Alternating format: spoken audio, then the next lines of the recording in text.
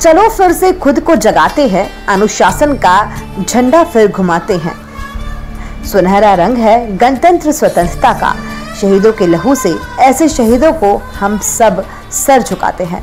जिला कोरिया के ग्राम पंचायत केलहारी सचिव श्री दिनेश तिवारी जी की ओर से पूरे देश एवं प्रदेश वासियों को 15 अगस्त की बहुत बहुत बधाई एवं शुभकामनाएँ।